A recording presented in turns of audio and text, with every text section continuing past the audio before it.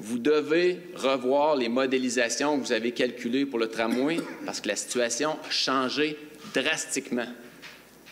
Quelles seront les nouvelles prévisions pour les lignes de tramway entre le pôle d'échange de Sainte-Foy et celui de Saint-Roch?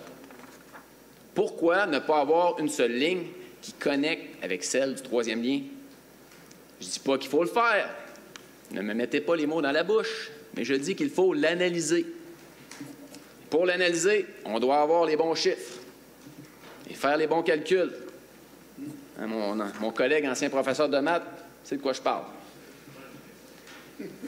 Les habitudes de déplacement vont changer avec le troisième lien et il faut que le projet soit adapté. Sinon, vous nous prouvez une fois de plus que votre objectif est simplement de faire la guerre à l'automobile. Allez-vous profiter du troisième lien au centre-ville pour bonifier réellement le transport en commun? Ou vous allez continuer de foncer tête baissée pour réussir votre guerre à l'auto? Ben, allez dans votre camp, M. le maire. Et je demande aujourd'hui de nous prouver que tout a été considéré avec les changements à venir depuis l'arrivée du nouveau tracé du troisième lien et que ça justifie toujours la pertinence d'un tramway qui aura de gros impacts sur notre réseau routier.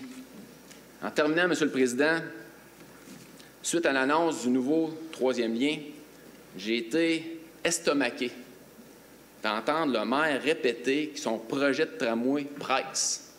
Ça presse. Ça presse. Qu'est-ce qui presse?